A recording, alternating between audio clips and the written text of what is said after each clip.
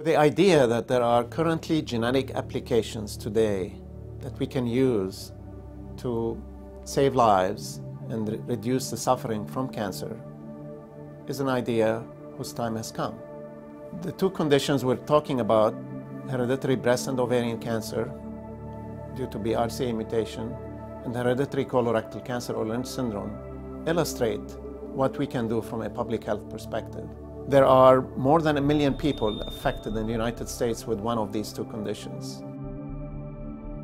We know that there are many affected people that are not being diagnosed. Prevention in the past hasn't had the opportunity to take advantage of this very specific, individualized uh, digital information. This is personalized medicine actually becoming real and becoming available uh, to many more people than could have been imagined a few years ago. Both of my sons were tested.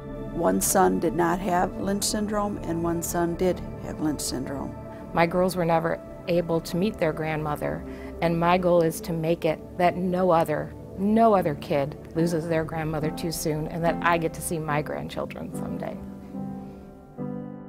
What is really needed is to engage families where these cancers run and to help give them the opportunity to identify that they're at high risk, but that there are actions they can take to greatly reduce their risk.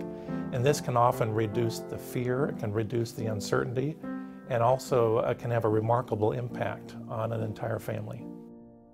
Our job as health professionals and our job in public health is to help physicians identify these individuals and intervene early. And I think that working in partnership with state agencies, this is how we're actually going to be able to move the field forward. It's a scary prospect to think that you might carry a gene that increases your risk of cancer.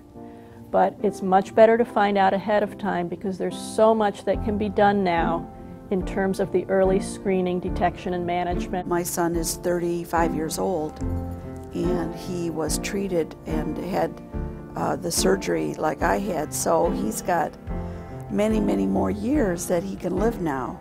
And now we have groups and we have committees and we have counselors who help us know that it's not us, just us. We are a family doing this together. It's going to take the full engagement of policymakers, healthcare providers, uh, reimbursement agencies, insurance companies, and patients to take advantage of what should be a major step forward. We all have to work on this together.